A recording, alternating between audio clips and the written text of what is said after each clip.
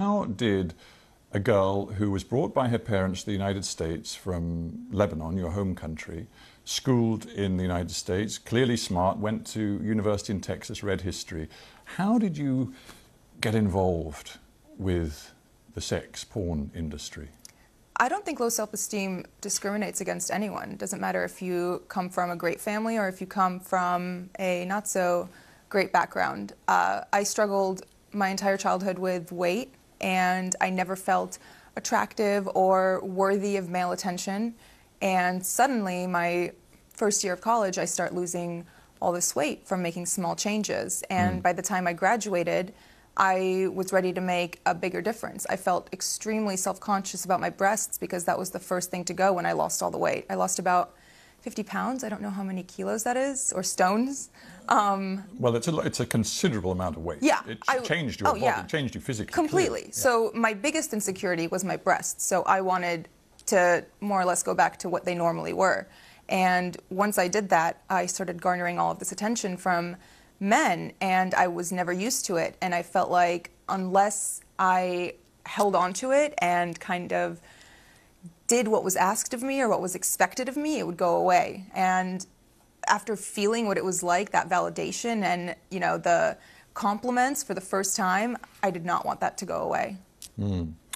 You were spotted, I think, on mm-hmm. a street. I mean, there you were. You were a young graduate wanting to sort of find a job, and, and you were spotted on a street by a guy who said, "I, I, I can work with you," uh, and clearly he opened up and said, it, it, "It's the porn business."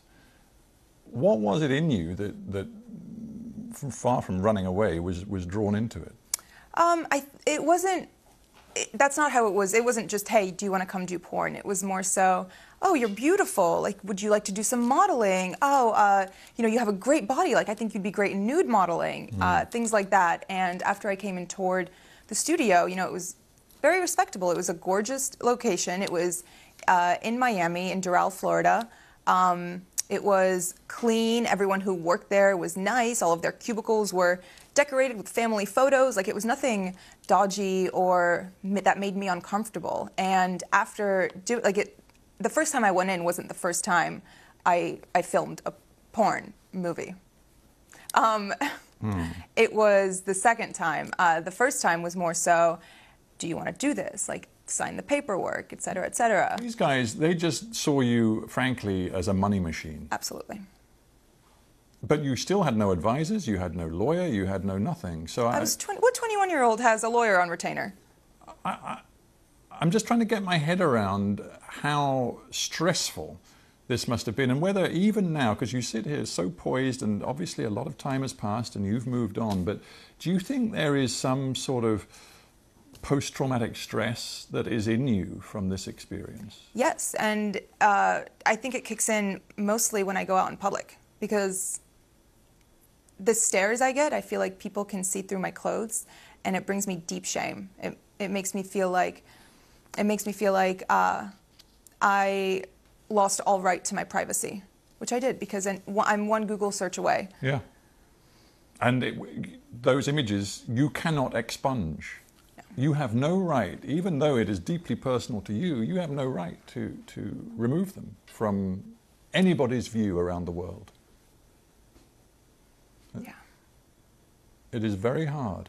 It is. And I'm just thinking, this isn't, I mean, this story is your story, but frankly, it, it's also the story of other porn actors and actresses. I honestly started seeing that recently after the interview came out, and people started reaching out and uh, all of the emails go, my, my, manager checks them.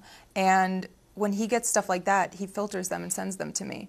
And reading the words of some of these girls who have been sex trafficked and forced into porn, and all of these stories of girls whose lives have been ruined by it, and by men who have taken advantage of them, and by contracts that they didn't even, didn't even understand the jargon of, it, it makes me feel like, okay, maybe maybe it was good that I started talking and that right. I posted this interview and that I'm speaking out now because other people feel the same way. And even if they don't relate on a, as deep a level as, you know, doing porn, they can relate on the level of being insecure and being pressured into doing something they right. didn't want to do. You were wearing the Islamic headscarf, often known as hijab. And of course, then it developed into a sort of a sex scene. You must have known how provocative that was. I verbatim told them, "You guys are going to get me killed." And they said, They just laughed. Why didn't you then say, I'm not doing it? Intimidation. I was scared. But I, I, I knew that if I said no, it would, it would, you know, they're not, you could, they, they're not going to force you to do it. That's, at that point, that's rape. No one's going to force you to have sex.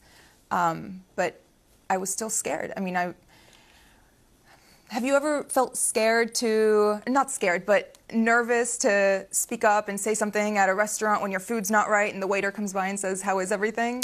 I, I was intimidated. I was nervous.